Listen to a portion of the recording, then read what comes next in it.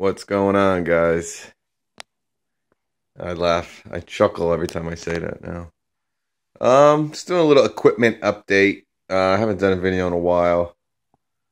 Um, and I am still alive. Uh, Dan from Trimmers LLC. I'm still kicking. Tired, but still kicking. Yeah, I'm. Uh, I'm feeling it now. It's getting towards the end the season here. Another six weeks. Then we got some full cleanups, stuff like that going into December. Pretty much the first week of December. Pretty much by Thanksgiving, it's pretty much wrapping up up here in the Northeast. But um, six weeks of day to day grind, you know, stuff going on. Then it slows down and, you know, but anyway, uh, here's the Raptor. Um, it's got like 63 hours on it now. Um, running like a champ. Um, no issues. Starts, cuts like a, cuts real good. I mean, as much as you're gonna expect from, uh, you know, three thousand dollar mower. You know, cuts real nice. Uh, you guys seen some videos on it, so does stripe. Um, cuts nice. The only issue with it that I found, that's the only gripe that I have about this mower. Um, for any of you guys that are looking, maybe looking, but for some reason, to save ten dollars, maybe Hustler decided to only put two anti-scalp wheels on this mower. Um, you know, it's pretty much, you know, you could buy anti-scalp wheels online, 10 bucks. Why they wouldn't at least put three on, you know, I I have no idea.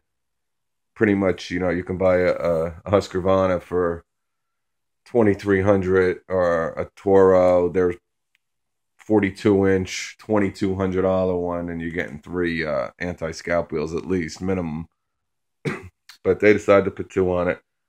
But besides that, because this mower will scalp the shit out of any kind of hill, you know, just to let you know, if you're going up and down hills, you know, like those little gullies and stuff, this stuff, this mower will scalp the shit out of it, just to let you know. But, you know, pretty much they all kind of will. I mean, an anti scalp wheel isn't going to really save you. This isn't, you know, they say this is a floating deck. This isn't no floating deck. You know, if it doesn't have chains on it, it's pretty much not floating. You know, this is a pretty much when you set the height at three inches, it's set at three inches. It ain't going up or down really. Um, you know, when you have the chain holding it, you know, when it you have it set, it can kind of, you know, go with the flow, so to speak. But, you know, a lot of people think if it has anti scalp wheels on it, you're, uh, you know, you're not to. Well, the word anti scalp wheels don't really mean anti scalp because you will scalp um, your lawn if you go up hills and down hills and you know certain gullies and stuff like that. So to get off that subject, um, besides that, everything else is good on it. Love it. Kawasaki engine. You know, can't beat it. Starts up. I mean, like I said, these mowers, the biggest thing with these kind of mowers is the engine.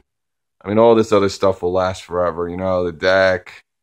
You can have a stamped deck and get man, I mean, look at that guy. Uh, he has the Toro. Oh man, I can't remember his name. He has this Toro. He's a he has a big channel. He's like three thousand subscribers or something. He's big. Ah, oh, damn it. Anyway, he has this Toro. He's got like sixteen hundred hours on this thing.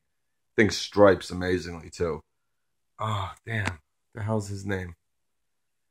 If anybody knows what I'm talking about, you can comment below. But that guy has a Toro with a stamp deck on it. It's probably got 15 to 2,000 hours on it. So you know, like I was saying, I mean, the, these decks will last forever, as long as you don't, you know, run over rocks and uh, you know push the blade up into the deck and the, the blade cuts the deck, shit like that. Which actually a friend of mine just did. But anyway, um, you know, it's everything's gonna last. You know, the tires are gonna last, the wheels are gonna last. If you got to get new ones, you got to get new ones, shit like that. But you know, you know, the PTO switch might go, but overall, if the engine is good, you're gonna keep cutting. So that's basically, you know, why I got this mower, and you know, I recommend. Well, and it has the fab deck. You know, like I said, it's can't buy anything like this mower out there in the market still. To this day, four years later, uh, since this mower came out, still no one has even come close to it. Cub Cadet has a fab deck, but it's with a Kohler engine. Um, I think Toro has a three thousand dollar fab deck now, but uh, that's with their own engine now. Toro engine. I don't know what the hell that is some aftermarket Chinese shit, I guess. But, you know, 29 for a Kawi and a Fab. You're not going to beat it. Anyway, off the mower for a second. You guys know I got this. Uh, this thing is great, by the way. I am going to be returning it. Because one of the major reasons I got it uh, was for the, the battery and the charger. But I'm going to be getting a uh, new impact driver that comes with a charger and a uh, battery, not a five amp hour, but uh, excellent, excellent, excellent uh, blower. It's the only blower I've been using for the last month, but I just I don't know how I feel about using this type of product. Not that it doesn't work and it's light, I love it. I, I, there's no real reason why I'm bringing it back. Only the, no real reason is the batteries and the charger, and it was 179 bucks. You know, old faithful here, my Stihl. This is gonna get. It's hooked up with the vacuum on it, but I'm gonna be taking it off here shortly, and um, you know, putting it back to the blower. But you know, like I said, this this blower costs like 199 bucks, so for 20 bucks more, you get another uh, another Stihl.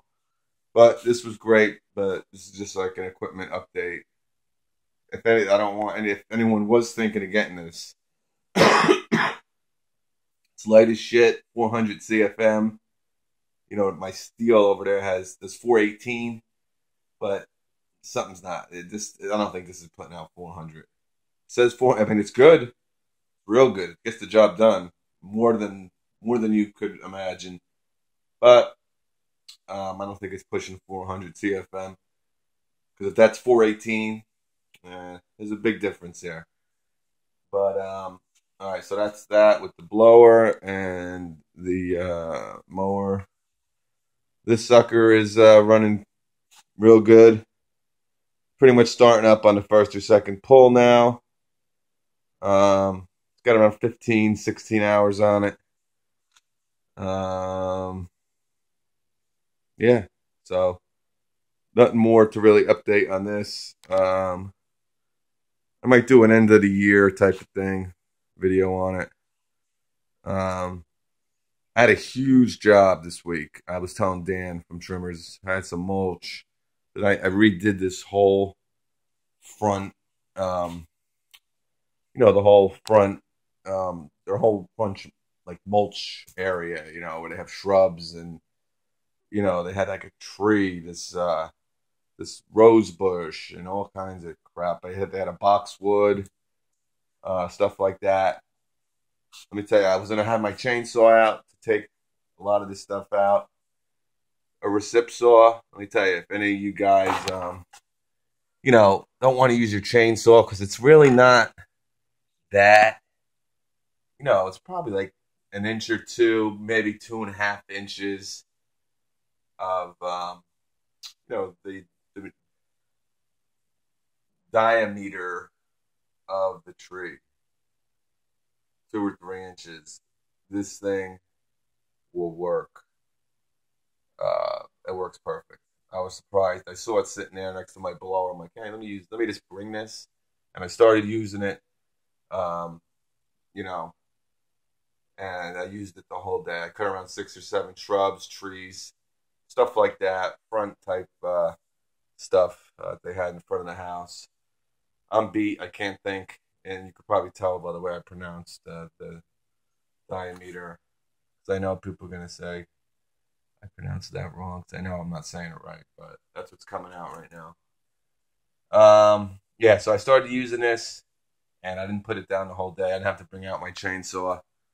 So, just you know, if you have one of these, um, you know, if you got to take down all kinds of bushes and shrubs, little type trees that are in, you know, people's front mulch, you know, bunch mulch. Uh, I can't even think of that.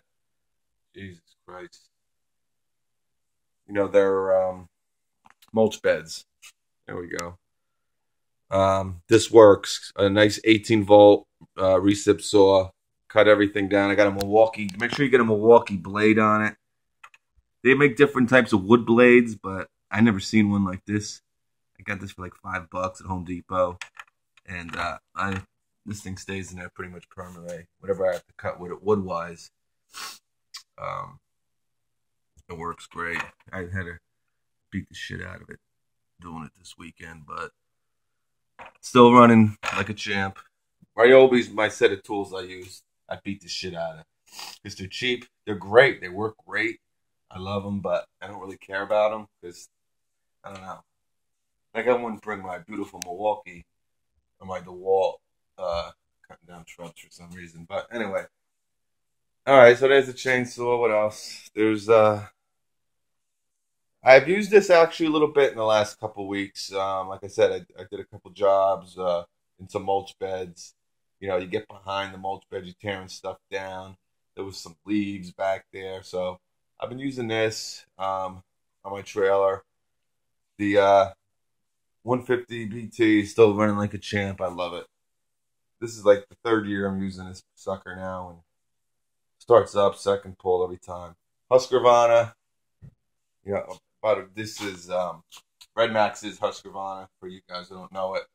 I think they make the best blowers in the business. Stihl are great, I guess. I, that's the only thing, you know, I love Stihl products, Stihl everything, but I just never had a problem with any of these Husqvarna RedMax uh, blowers, so I never even tried really one. So I had a BR600 that I borrowed for a season a couple years back from a buddy. He let me borrow it, and uh, yeah, it was awesome.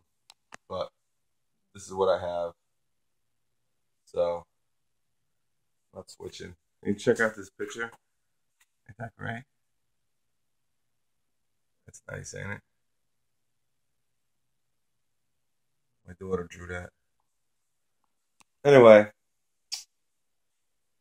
Um, what else?